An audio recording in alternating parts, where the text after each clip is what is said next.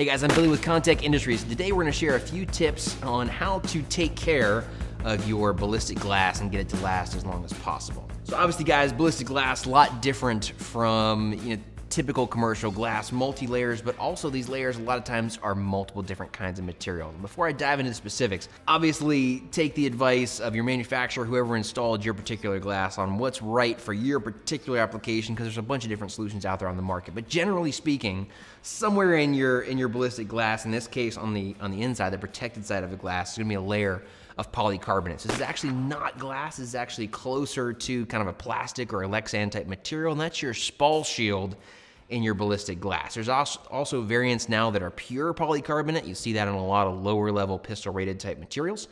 But uh, on the higher level rifle rated stuff, a lot of times at least the inside most layer is gonna be a polycarbonate. Polycarbonate's a more porous material.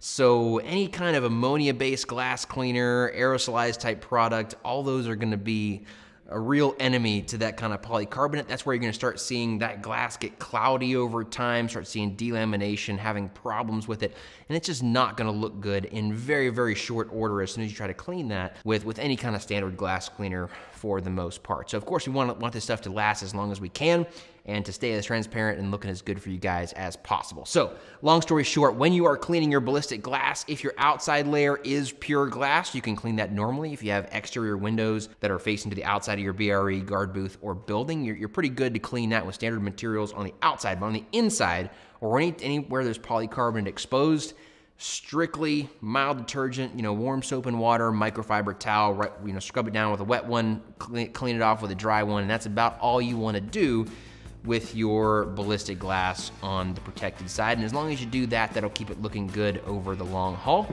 and prevent that from fogging up and delaminating for you guys. If you got any other questions, feel free to reach out to us anytime, info at kontekindustries.com.